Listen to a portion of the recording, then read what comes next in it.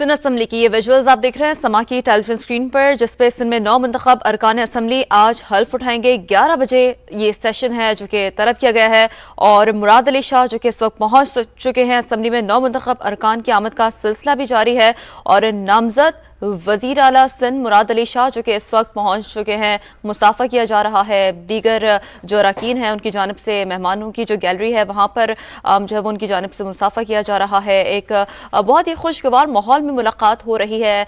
Sindh assembly का ये ऐवान है जिसकी जो रौनकें हैं, एक बार फिर लौट आई हैं। ख़वान अरकान की जानब से, उनकी जानब से आप देख रहे हैं, बड़े ही खुशगवार माहौल में गुफ्तु भी की जा रही है। असम्बली के अंदर के ये मनाजर हैं जो कि समा की टेलीविज़न स्क्रीन पर आप देख रहे हैं। और नामजद वज़ीर अला सिंध मुराद अली शाह जो कि अब नामजद किए गए हैं वज़ीर अला सिंध के तौर पर।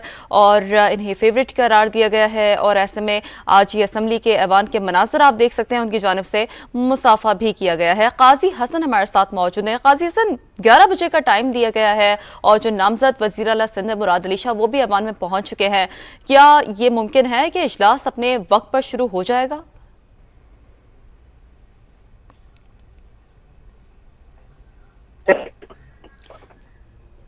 कोशिश करेंगे काजी हसन से हम एक बार फिर अपना रबता बहाल कर सकें। तो मुराद अली शाह नामजद वज़ीर अला सिंध जो कि इस वक्त ऐवान में पहुँचे हैं, उनकी जानब से जो दीगर अरकान हैं, उनकी जानब से पहले जब वो आए तो उनका इस्तबाल भी किया गया, मुसाफा भी किया गया। बड़ी खुशगवार और एक अच्छी कॉन्फिडेंट उनकी जानब से एक जेस्चर दिखाया जा रहा है और मुराद अली शाह जो कि इस वक्त असम्बली में मौजूद हैं।